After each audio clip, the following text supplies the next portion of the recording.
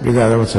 Concedo a palavra, no período dos três minutos, ao ilustre deputado Everton Rocha.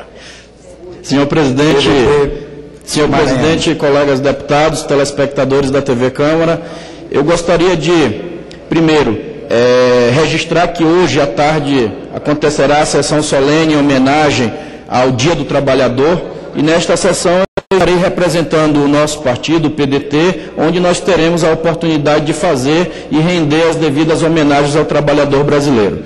Senhor presidente, no, na última sexta-feira, dia 26, 27, sexta e sábado, nós do PDT reunimos no sul do nosso estado, no sul do Maranhão, lá em Balsas, fizemos a nossa convenção municipal do Partido Democrático Trabalhista lá, onde tivemos a oportunidade de eleger o presidente, participar da eleição do presidente Márcio Neiser, da cidade de Balsas, e neste mesmo encontro tivemos a oportunidade de reunir 16 municípios da região do sul do Maranhão. Eu quero aqui registrar, senhor presidente, para todo o Brasil, para todo o Maranhão, que esse é o nosso terceiro encontro regional do partido. O primeiro aconteceu na cidade de Imperatriz, o segundo na cidade de Caxias e agora na cidade de Balsas.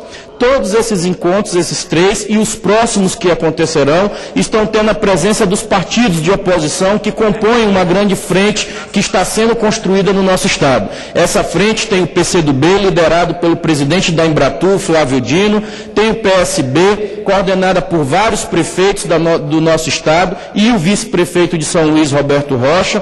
Temos deputados federais como o Simplício Araújo, com outros colegas deputados que têm sempre participado, e também a grande participação dos vereadores e dos prefeitos de oposição no nosso Estado. O Maranhão está vivendo um momento importante, democrático, onde nós estamos, de forma muito respeitosa, indo dialogar com os nossos municípios e com as forças progressistas daquele Estado. Entendemos que esse momento que nós estamos construindo não é um momento apenas de apontar dedo aonde a gente acha que está errado, e sim ouvir da sociedade civil organizada da classe política, das pessoas que querem construir um Estado melhor, quais são os possíveis caminhos e o que, que nós podemos trilhar como futuro e trilhar como meta para as nossas gerações. Estamos vendo aqui um debate importante nessa casa, que é a questão da redução da maioridade penal. E nós temos que discutir, sim, as políticas públicas para as nossas crianças, para os nossos jovens, para que não aconteça amanhã, daqui 10 anos, caso isso passe,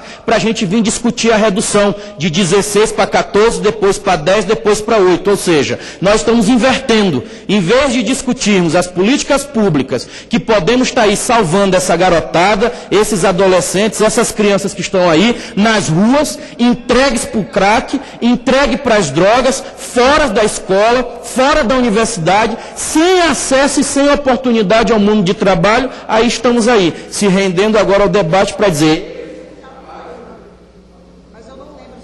Eles são os culpados e todo mundo está certo. Não estou aqui defendendo, que, e eu achei muito oportuna aqui a fala do colega da Bahia, onde ele coloca aqui que tem que ser diferenciado o tratamento para o caso do homicídio e para o caso do estupro. Agora, o restante, nós precisamos sim discutir. A redução não é o caminho, nós precisamos discutir é a escola de qualidade de tempo integral, é o acesso ao esporte, é acesso à cultura e às políticas que possam inserir essa juventude que está aí. Para mim concluir, senhor presidente, basta fazer a visita lá no nosso estado mesmo. Você vai na cidade de Imperatriz, aonde tem uma grande empresa lá, a Suzano, que está fazendo investimento, 12 mil empregos diretos estão sendo gerados lá, mas vai ver lá quantas pessoas de fora estão lá na cidade. Vai ver o impacto que isso está dando lá dentro. Por quê? Porque não qualificaram os próprios trabalhadores de Imperatriz para receber esse grande empreendimento. Aí você vê lá no caso de Bacabeira, da refinaria que parou, está fechada, estamos discutindo aqui vários outros casos.